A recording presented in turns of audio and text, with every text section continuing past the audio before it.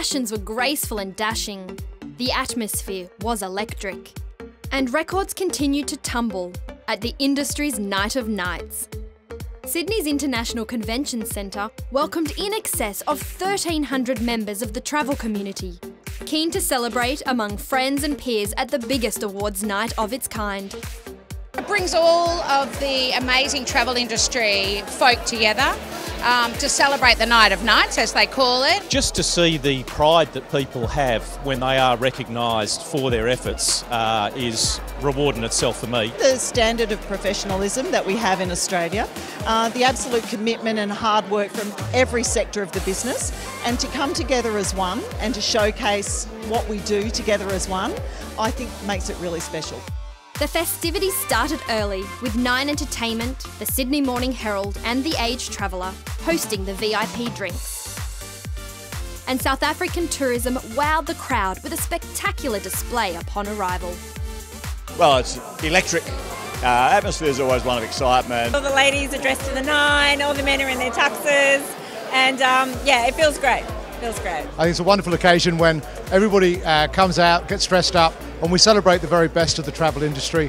AFTA's Chief Executive, Jason Westbury, set the tone for the night ahead.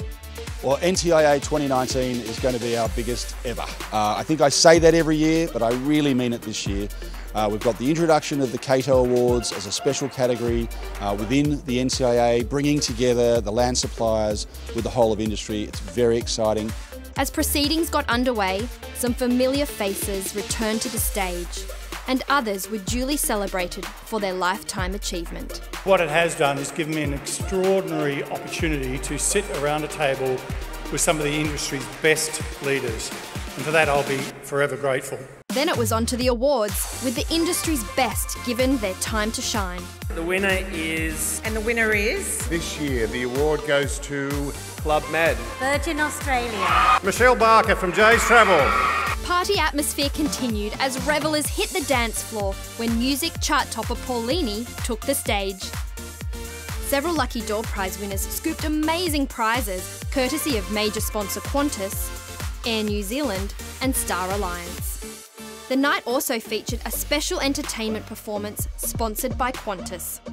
And as the event wrapped up, the young and the young at heart continued on to the Singapore Airlines after party.